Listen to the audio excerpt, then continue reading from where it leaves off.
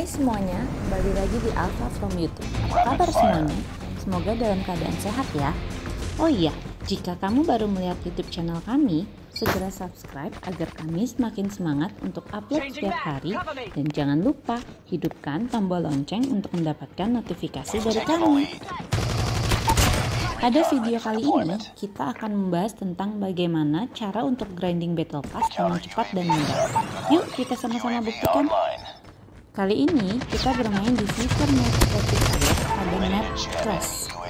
Pada season kali ini, Call of Duty Mobile merilis beberapa karakter di Battle Pass yang pastinya sangat ingin kamu dapatkan, yaitu Outer Backstroke, Cross Foreshadow, dan pada tier 50 ada Rorke Manhunter.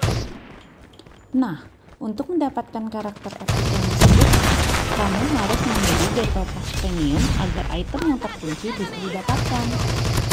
Selain itu, bermain di mode Rapid Fire adalah cara yang paling cepat untuk mendapatkan Battle Pass XP karena di setiap game kamu bisa mendapatkan skor 10.000 sampai 15.000. Kok bisa sampai sebanyak itu ya? Tentunya kamu punya cara untuk mendapatkan lebih banyak lagi XP pada video kali ini. Pertama, gunakan senjata favoritmu untuk membunuh musuh dan yang kamu yakin mudah menggunakannya. Kedua, pada secondary weapon gunakan SKJ karena akan banyak skor streak bertebaran di area bermain. Selanjutnya, untuk operator skill, gunakan Annihilator untuk membunuh dalam berbagi jarak. Pada score streak, gunakan UAV counter bagi dan AMP system agar poin tambahan bisa dengan mudah kamu dapatkan. Dan yang terakhir, ada dua perk yang wajib kamu gunakan pada mode rapid fire, yaitu perk hijau cold blooded agar bisa terhindar dari tembakan score streak musuh seperti sentry gun, steel chopper, maupun kejaran shock RC dan perk biru hardline untuk menaikkan poin hingga 25%. Bagaimana jika sudah tidak ada fitur match rapid fire karena waktunya memang terbatas?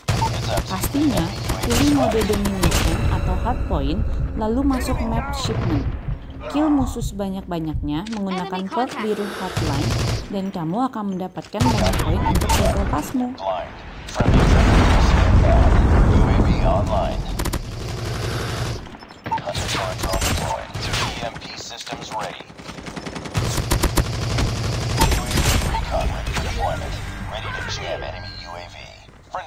Is ready.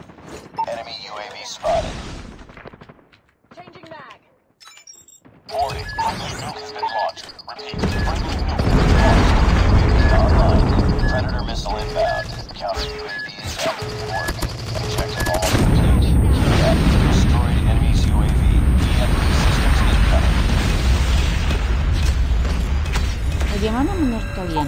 Apakah cara ini akan kamu gunakan untuk grinding Battle Pass season kali ini? Silahkan tulis komentarmu dan video apa yang ingin kita bahas selanjutnya. Mungkin itu saja yang bisa kami share tentang cara tercepat level up Battle Pass. Terima kasih sudah menyaksikan tayangan ini, semoga bermanfaat ya. Jangan lupa share ke soldier lainnya, komen di kolom komentar, dan subscribe channel ini. Terima kasih.